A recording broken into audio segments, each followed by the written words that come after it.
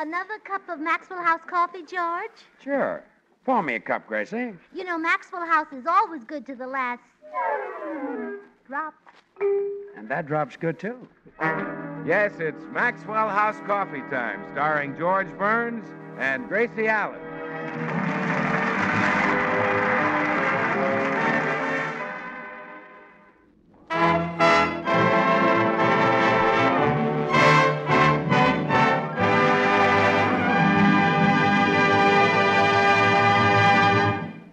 As we look in at the Burns home today, we find the head of the family reading the morning paper while her husband tries to get it from her. Gracie, I'd like to see the paper, too. Mm, yes, dear, as soon as I finish reading Louella Parsons' column. You see, we top newspaper columnists have to check each other. Now, don't compare yourself with Louella Parsons. She's the first lady of Hollywood. She's the reigning queen. Well, she certainly has poured it on this week. Finish reading Louella's column so I can have the paper. Yes, dear. Well, listen to this. Exclusive. Cesar Romero was seen at the Mocambo last night with Lana Turner. What does she mean, exclusive? I have the same item in my column. You have? Well, sure, I'll read it to you. What star was seen where last night with whom? Word for word. I put that in every day. It always fits somebody. You're dynamite. Go back to Louella's column. Oh, yes, dear. Oh, here's an interesting item. Phil Take It or Leave It Baker has arrived in town from New York and is looking for an apartment. that silly man. Uh, he probably won't find an apartment in Los Angeles. Well, even if he does, imagine driving clear to New York to work every day. He brought the program with him. Oh. Oh, by the way, he um, he telephoned and said he was going to drop in to see us. Oh, good. I'd like to see him again. Remember back in our vaudeville days when you and Phil Baker were both courting me? Yeah. Phil was awfully cute. And what a snappy dresser. You know, he's the first man to wear pleats in the front of his trousers. Really? Mm-hmm. Of course, it was sort of an accident the way he discovered it. He caught his pants in his accordion one night.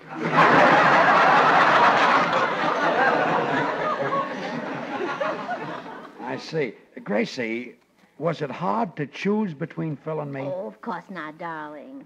I knew there was only one man for me. Sure. Uh, and when Phil married that other woman, I knew which one. Swell. Have you ever wished you'd have married him instead of me? Oh, not for a moment, darling. It'd be awful married to a man who ran a quiz show. He'd come home and say, Hello, dear, had a nice day? And I'd say yes, and he'd slap $64 in my hand. hey, wait a minute. That okay, wouldn't be okay. such It's a too late now. Too late, too late, too late. Well, He's got a wife and anyway. serve. Someone at the door. Well, I'll answer it. Uh, you finish reading Louella's column. Hello, George. Well, Phil Baker.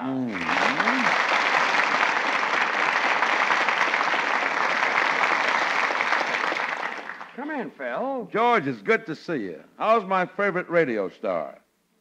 Your favorite, Phil? Yes, how's Gracie? She's fine. Oh, Gracie, here's Phil Baker. Well, well, Phil, how are you? You look wonderful. You look wonderful too, Gracie. Uh-huh. You know, Phil, you haven't aged one year. Neither of you, Gracie. And Phil, you're doing so well. You're very successful yourself, Gracie. and George, Yes? you have a bad cough. Thanks. Phil, we were just talking about those vaudeville days when you and George were rivals for my hand. Yeah, whenever the three of us would go to dinner, George and I would fight to see who'd get the money out to pay the check. Yes. And one night you fought so hard you tore my pocketbook in two. Yeah.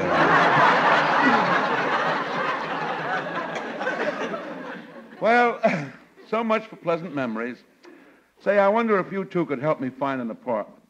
Well, I guess the apartment houses are a little crowded out here. Crowded. I walked up to one yesterday to see if there was a vacancy, opened the door, and three families fell out. it was so crowded that even Kilroy couldn't get in. My goodness. But surely you'll find something. Gracie, I'm convinced of one thing. Los Angeles apartments, houses are full.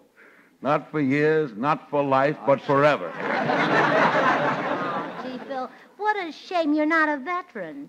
You know, it's simple for a veteran to find a place to live. It is? Oh, sure, all he has to do is re-enlist.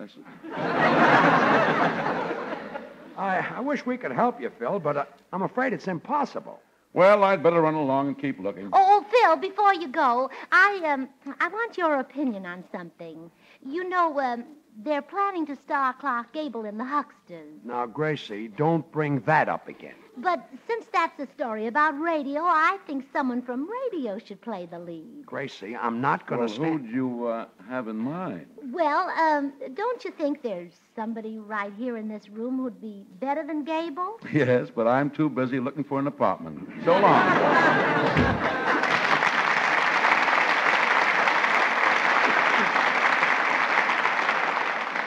Now, Gracie, I want you to forget the idea of me replacing Gable. Yes, dear. Is that clear? Yes, dear. That's the last you'll hear of it. Good. By it, I mean replacing Clark Gable. Gracie, By replacing, I mean substituting for him. Gracie. By I- him, I mean Clark Gable. Look, I By don't. Gable, I mean the man you should replace. Now, that's enough. All right, all right. Even if you bring it up, I won't discuss it again. Good. Let's drop the subject. By subject, you mean All right, all right, all right.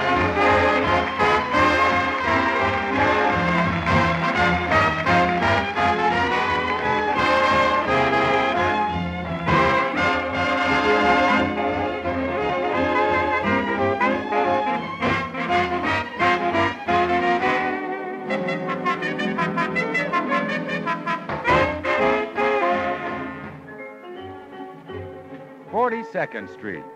Gee, that, that that was really a great tune, Meredith. And it still is, Bill. What brings it to mind now is Alfred Mira's fine painting of Times Square in our newest Maxwell House coffee ad. Yeah. You'll find it on page 96 in the new issue of Life magazine. Oh, I've seen it, Meredith. Mirror calls his painting the Crossroads, that, of course, being what Times Square really is. With its crowds and its lights, its sparkle, it's a glittering symbol of Manhattan, a magnet for millions, and a vivid, unforgettable part of the American scene. You know, in its own way, Maxwell House coffee is truly a part of the American scene, too. For just as coffee is America's favorite drink, so Maxwell House is America's favorite coffee, bought and enjoyed by more people than any other brand of coffee at any price. Northeast, south, and west, it's Maxwell House wherever you go. Flavors back of this popularity story the rich, satisfying Maxwell House flavor that results from the masterful blending of these premium Latin American coffees. Manizales for mellowness, Medellins for richness, Bucaramangas for full body, still other choice coffees for vigor, all adding up to great coffee at its flavor peak. So, friends, why not enjoy the very best in coffee goodness? Coffee pleasure. You can for just a fraction of a penny more per cup than you'd pay for the cheapest coffee sold. Just say Maxwell House, always good to the last drop.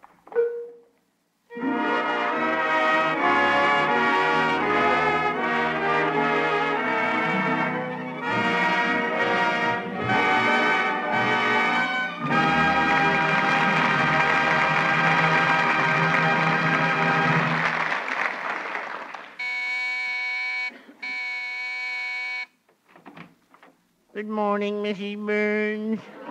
Here's your mail. Thanks, Mr. Postman. You appear downcast, Mrs. Burns. What cast you down? Oh, my husband still refuses to replace Clark Gable in the Hucksters. But I'm not giving up. That's the true American spirit. We don't give up. We take one shellacking after another, but finally we win. That's the democratic way. Sounds more like the Republican way. Mrs. Burns, why don't you just order your husband to try out for that picture? Why, Mr. Poston, a wife can't give orders. The husband gives the orders and the wife must obey.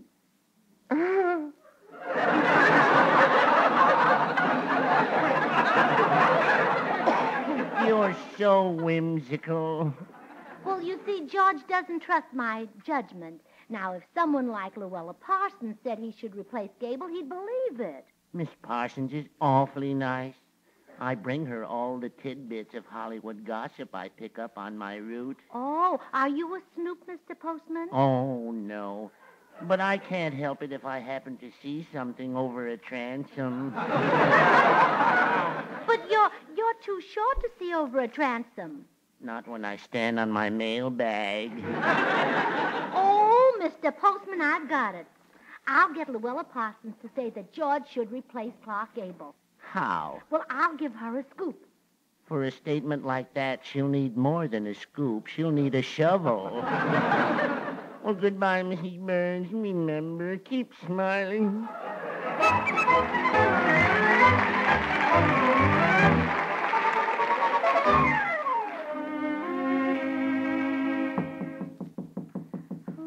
hope Louella is home. I'll give her some red hot scoops for her column, and then in return, she'll use her influence to get George in that picture. Yes? Why, it's Gracie Allen. Hello, Louella. Hello.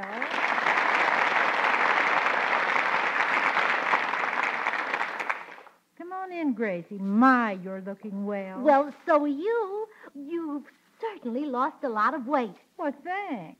Now, when people call you Hollywood's biggest movie columnist, you'll know it's a compliment. Well, I've always pretended it was. Oh, you do have a wonderful column, Louella. My poor little effort just can't compare with it. Oh, you're wrong. Your column is much more interesting than mine. Oh, no, yours is better. Oh, no, yours is better. Uh-huh, no, yours is. Well, perhaps you're right. Well, I wish you'd hold out your hand before you stopped. Was there anything special you wanted to see me about, Gracie? Oh, yes, we, um, we newspaper women should stick together. Um, I came over to give you some gossip items for your column. Now, that's very kind of you. Oh, these are real red hot scoops. They won't only stop the presses, they'll melt them. Oh, tell me quick. Gracie, tell me. Oh, well, all right. Do you know about Charles Boyer and Ingrid Bergman? No, what about them? He's French and she's Swedish. That's your school. Oh, that's only one of them. Listen to this. You know the movie theater where the stars put their footprints in cement? Yes, of course. Grauman's Chinese. Well, I happen to know that Grauman isn't Chinese. Gracie, I think I'll give that one to Walter Winchell. Oh, Louella, you're so unselfish. But here's a scoop I want you to keep all to yourself. One of Hollywood's best known couples aren't really married to each other. Oh, I couldn't print that. Hmm, too spicy, huh? Yes, but I'll admit I'm curious. Say, who's the couple that's not married? Abbott and Costello.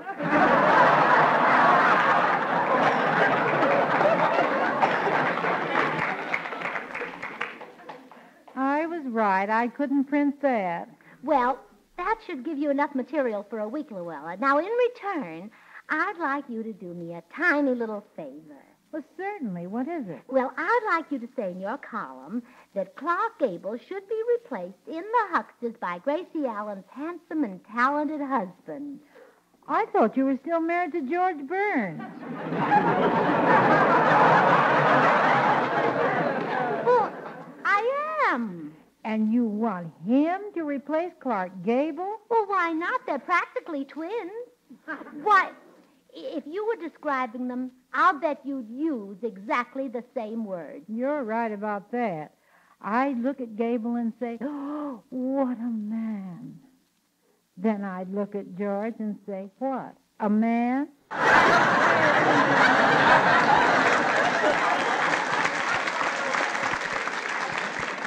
But, Louella, Gracie, I couldn't print in my column that George Burns should replace Clark Gable. Oh, sure you could, Louella. Give George a big spread.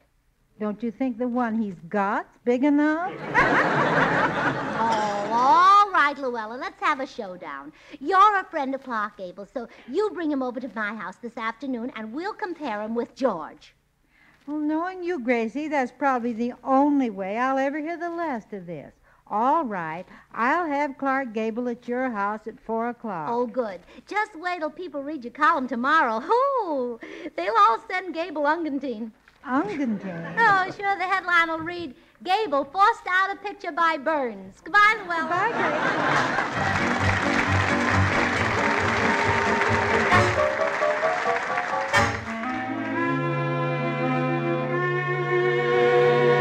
What? Clark Gable is coming over here? Yes, dear, so Louella Parsons can compare the two of you. Now, wait a minute. I haven't got a chance.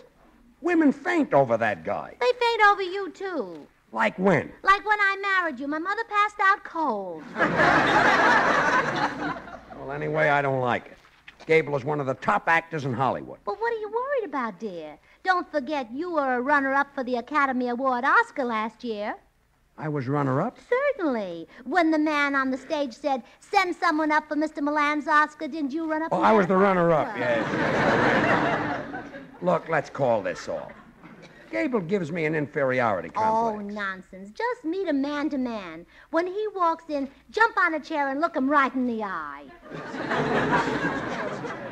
You see, he's bigger than I oh, am. Oh, dear, stop worrying. All you need is a little pep talk. Now, listen. What if Gable is bigger? Don't forget that a mouse can frighten an elephant. Hmm. A, a- a little flea can worry a dog. A, a tiny germ can knock out a big man. So if you start to lose confidence, just think of yourself as a mouse, a flea, and a germ.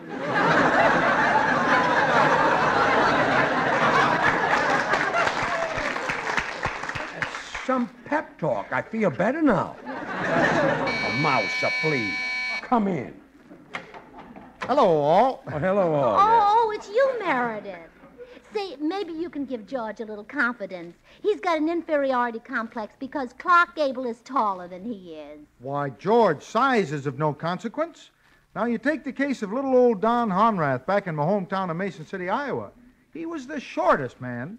Eh, Meredith, I'm not. Well, sir, little old Don didn't let his size stop him. No. Always went hunting with the rest of us fellas. That's nice, but Only trouble was his hunting boots gave him an earache. His hunting boots hurt his ears? Yeah, when he put 'em on, he was in 'em up to 'em. well, I'm not And interested. as for in- romance, Don courted the prettiest girl in Cerro Gordo County. Took her to every dance, her and a package of Band-Aids. Band-Aids? Yeah, she was skinny, and when they danced, her hip bone cut his face rather severely. Uh, well, that's enough, Don's Meredith. rival for this girl's hand was a fellow who stood six feet three. Don. But who I do mean, you Mer- think she finally married? The tall fella? No, sir. She married little, Little Don. Don. No, married a brush salesman from Des Moines. That's fine. So you see, George, a tall fellow has no advantage over a short fellow. well, that's a great story, Meredith. She got the brush salesman, and I'm giving you the brush. Out, out, out, out, out, Meredith. Years and years ago, the popular version of Toselli's Serenade. It's Meredith Willson's music.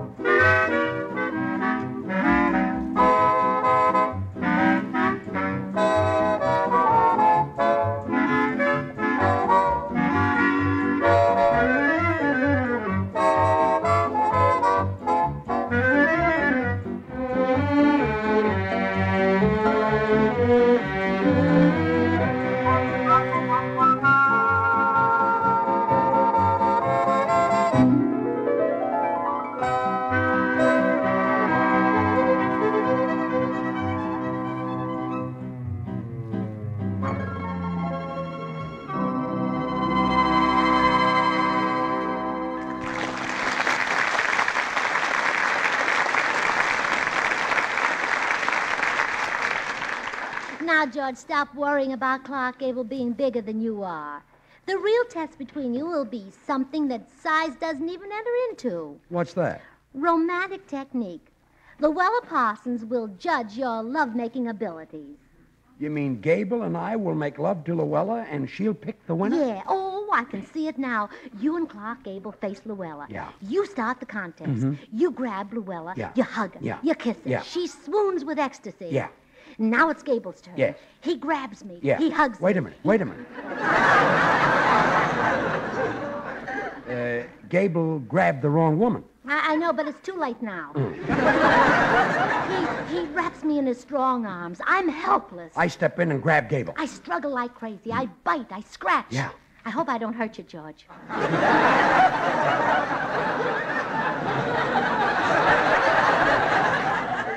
You're biting me?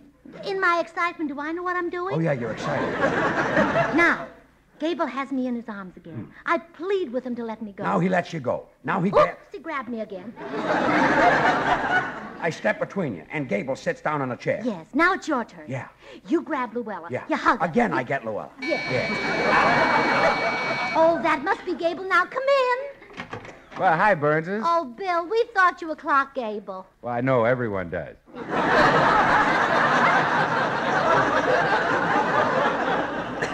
Bill. Oh, I just can't help myself, George. I just set the girls on fire. Why, when my pictures play at a theater, they make all the women sit in the balcony. In the balcony? Yeah, I start them smoking. That's the only place they allow it. Bill, what Gracie meant was that we're expecting Clark Gable to arrive any minute. Really? How come? Well, I'm going to put George up against Gable. Gracie, why don't you just lean him against the wall? No, no, you don't understand. There's going to be a contest between them, and Louella Parsons will be the judge. Oh, is Louella coming over? Mhm. You know, for I've got a terrific scoop for her column. I found out that Ronald Reagan beats his wife, Jane Wyman, every morning. Oh, Bill, no. Yeah, every morning he beats her into the kitchen and grabs the first cup of Maxwell House coffee. of course, you can't blame him. Maxwell House is rich, mellow, delicious, the result of careful selection and blending of choice Latin American coffees, radiant roasted to perfection. Oh, by the way, Gracie, what kind of a contest is Louella going to judge? Oh, a lovemaking contest. I haven't agreed to that yet. A lovemaking contest between George and Gable? Mm-hmm. That's like a contest between the atom bomb and a water pistol.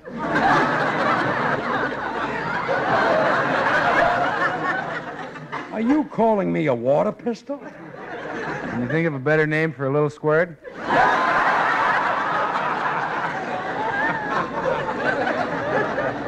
Okay, just for that, I'll show you. I'll make love to Louella. And, brother, you'll see some tall spooning. George, the only way you could do any tall spooning is with a cup of Maxwell House coffee and a tall spoon, believe me.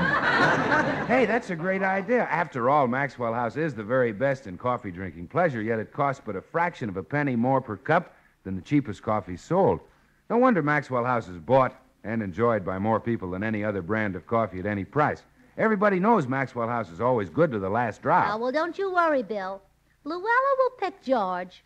Why, with his physique and the effect he has on women, he should have been in a picture long ago. Yes, you're right, Gracie. He should have been a mattress in the big sleep. Goodbye, comedian. So long, hot lips.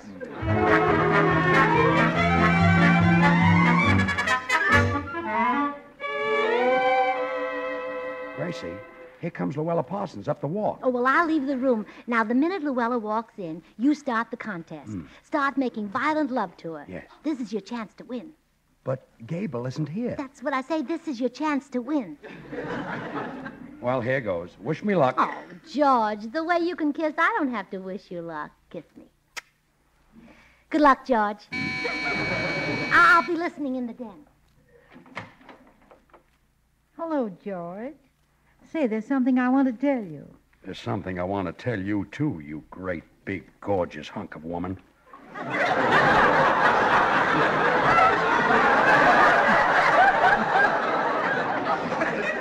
Come here.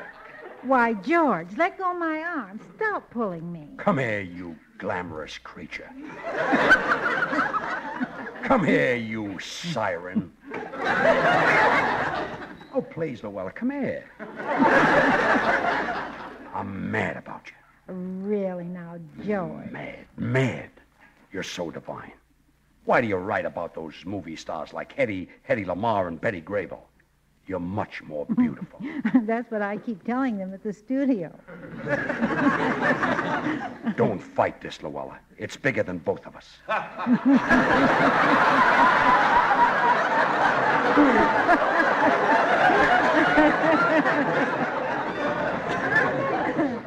oh, we could make beautiful music together. George, I'm so young. Come. I'll take you in my arms and carry you to the sofa. Mm.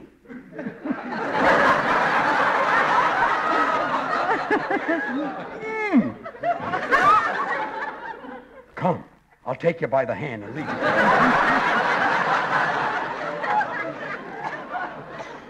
This is all so sudden. It's love, Louella.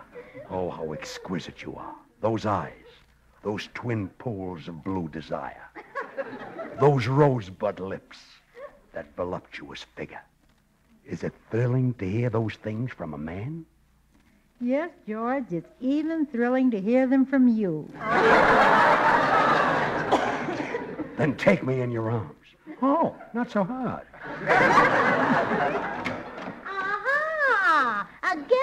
Find you in the arms of a beautiful woman. Again? Oh, now, Gracie, let me explain. Oh, I don't blame you, Louella. I know how irresistible my, my little man is. Women are drawn to him like bees to the smell of clover. You're a bee and he's a smell.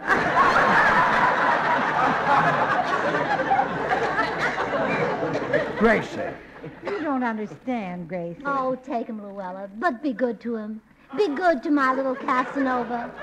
Bring him those little things he's used to his pipe, his slippers, your salary. Well, that does it. Take him, Louella. Fly away with him to some little nest, such as MGM. And put him in some picture, such as the Hucksters. and when Clark Gable comes, I'll tell him the better man won. Well, that's what I've been trying to tell you, Gracie. Clark Gable's away on a hunting trip. He can't come to your house until next week. Well, gee, if Gable won't be here until next week, I'd better explain that my love scene with you was just an act. Oh, I knew that all the time. I was just going along with the joke, and you were a very funny one, George. I see. Take him, Louella. Uh, oh, at first I'll cry. Oh, but years go on. I'll just laugh. Oh, Hey, Gracie, hey, Gracie, hey, Gracie, stop breaking yourself up. Louella is not going to recommend me for the hucksters. I know, but with acting like this, she may recommend me. Take him, Louella. Ah!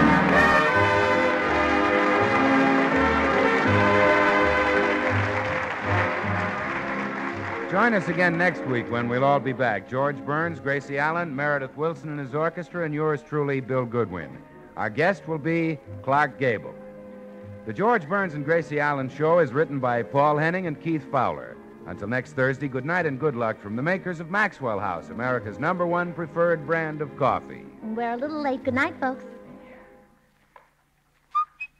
Get Bird's Eye. Get Bird's Eye golden sweet corn. Plump, milky sweet corn as tender and farm fresh as if you picked it from the stalk this morning. No work. It's cut whole from the cob, already washed for you, whistle clean. It's always young, tender, and wonderful eating.